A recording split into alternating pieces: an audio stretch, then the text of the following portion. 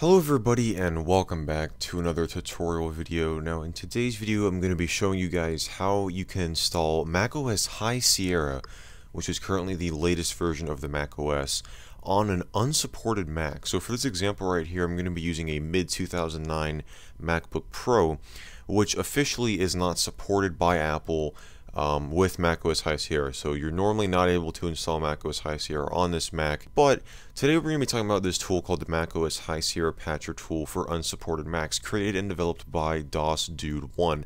Um, I'm going to have the link to his website right here as well as his YouTube channel. He does do a, a few different YouTube videos on his channel, so I'll, I'll, have that link down below as well if you want to go check him out. Um, but he has basically uh, developed this tool right here which allows you to install macOS High Sierra as it says on an unsupported Mac. Um, there are a few machines that are not supported as he kind of emphasizes right here in this part.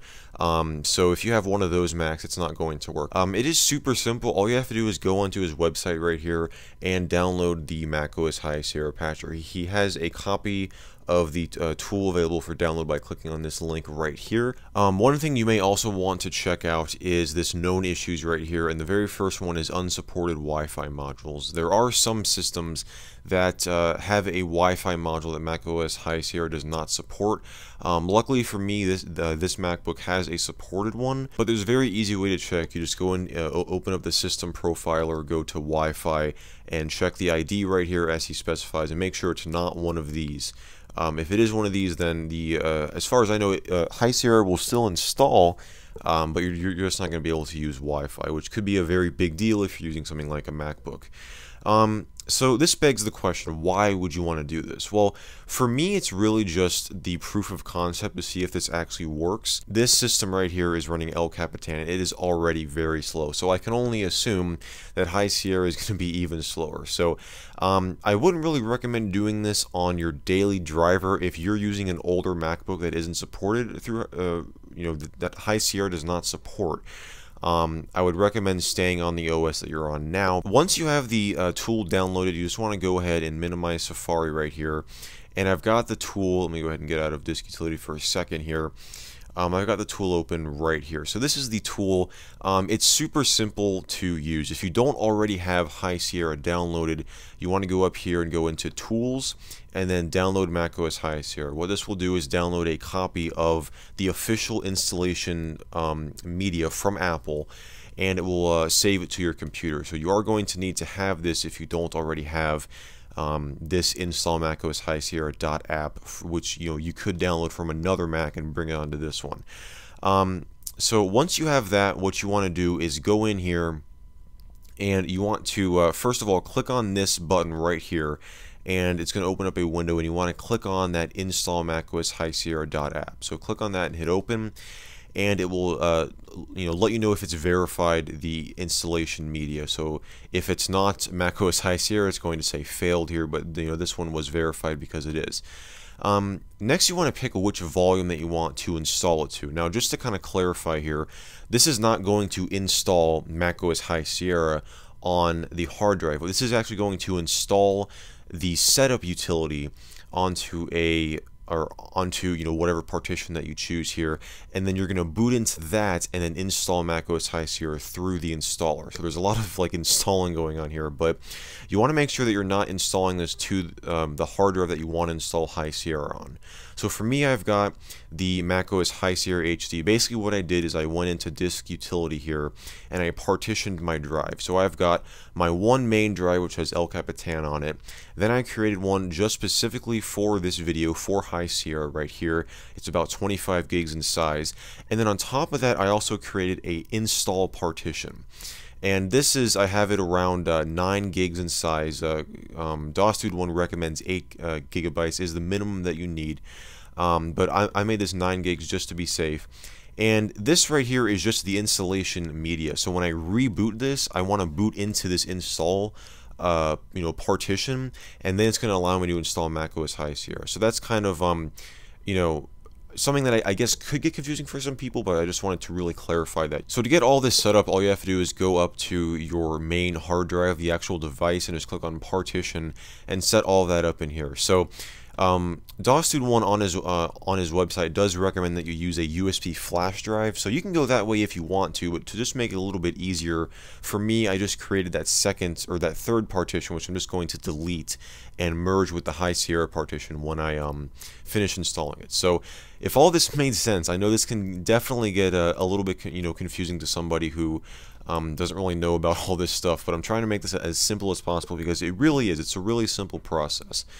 Um, so what you want to do is, uh, again, choose that installation partition. So I'm going to choose my install drive and click on start operation. I'm not going to go ahead and do this because I've already actually done this. So the install drive right here, if I go ahead and open this up, already has all of the um, setup files on it. Once you finish with it, what, what you want to do is um, close out of the High Sierra Patcher, and then go up here and go to Restart. And you're going to go ahead and restart your Mac. And as your Mac is uh, booting back up, you want to make sure that you press and hold the Option key so that it will bring up this menu right here.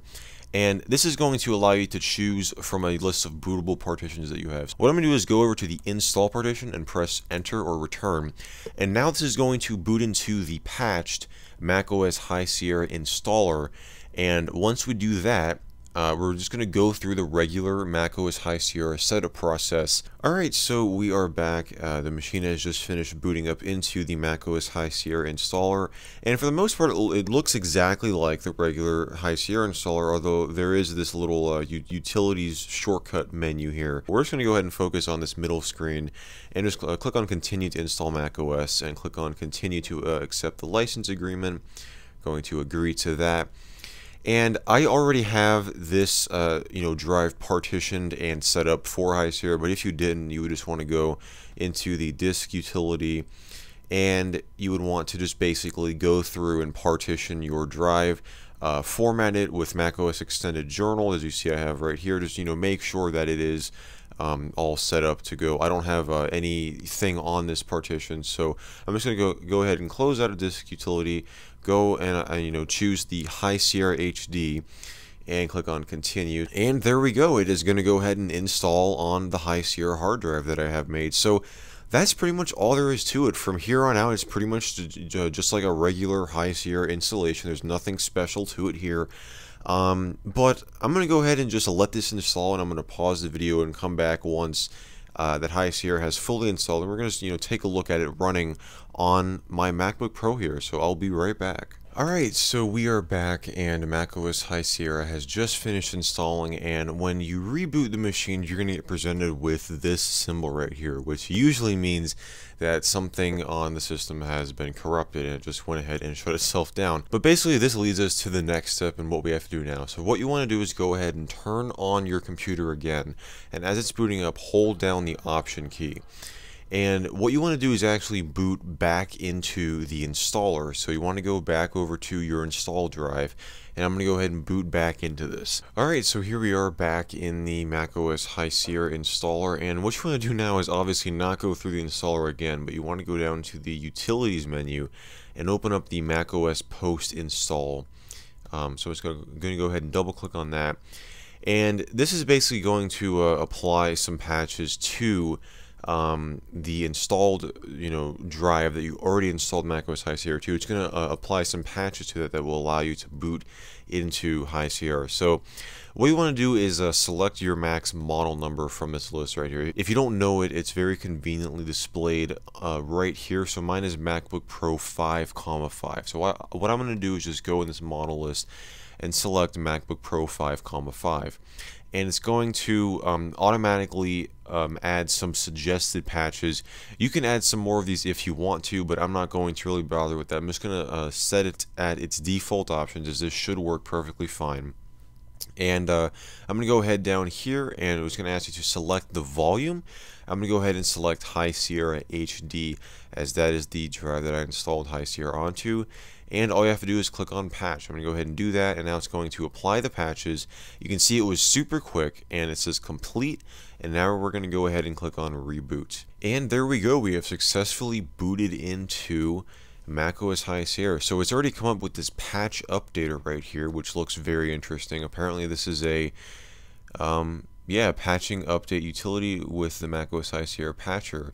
Um, copyright by DOSDude1. So this is also a tool that you know he has made, I guess, to um, easily update all of these system patches for you to actually be able to use the system. So there is one uh, night shift patch that I'll just go ahead and install later, but we'll go ahead and minimize that right now.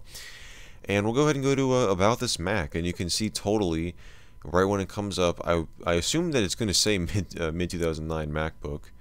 Yeah, MacBook Pro 13 inch mid 2009, so it does not uh, try to like falsify that at all. But that is pretty much it for this video. That is how to install macOS High Sierra on an unsupported Mac. Again, guys, be sure to go and check out DOSDude's One's uh, website and his YouTube channel. I'll have links down below if you want to go and check them out.